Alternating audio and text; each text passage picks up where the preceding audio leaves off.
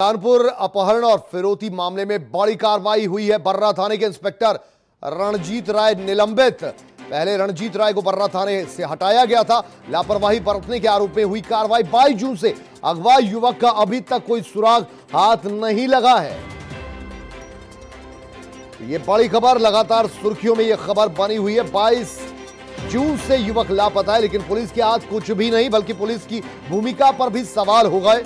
और ऐसे में रणजीत राय उनको पहले इस मामले से हटाया गया और अब फ़िलहाल बड़ी खबर यह आ रही है कि उन्हें निलंबित कर दिया गया है।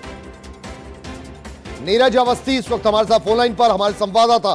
नीरज, पहले मामले से हटाया गया, अब निलंबित कर दिया गया।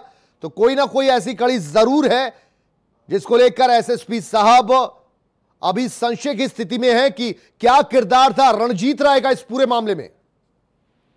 देखिए आपको बता दूँ लगातार लापरवाही की चीज़ें सामने आ रही थी।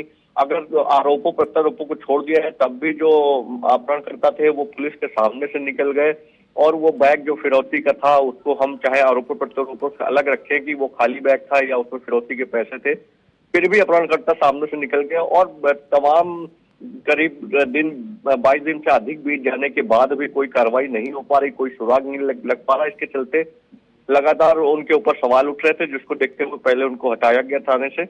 उसके बाद अब निलंबन की कार्रवाई की गई है और एसएसपी का कहना है इस मामले में और भी जाँच की जाएँगी। यदि वो चीज़ें सत्य पाई गई हालाँकि अभी पुलिस इनकार कर रही फिरौती के रूप में अपराधकर्ताओं को दिए जाने से उसकी भी जाँच चल रही है। यदि उसमें भी सही पाया गया तो और भी कार्रवाई हो सकती है इंस्पेक्टर बर्रा के ऊपर जो अभी तक शुक्रिया नीरज पूरी जानकारी के लिए आपका।